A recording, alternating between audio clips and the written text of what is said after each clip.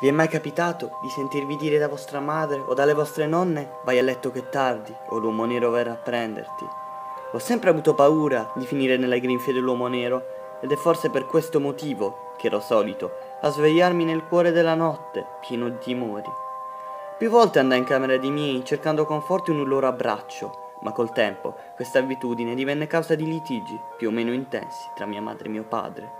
Ricordo ancora quel giorno in cui mio padre, uscendo di casa per andare di pattuglia, urlò a mia madre di smetterla di raccontare queste storie assurde. Ho quasi vent'anni e tutt'oggi ho problemi legati al sonno. Pur di darmi coraggio, spesso capita che mio padre mi abbracci fino a farmi addormentare.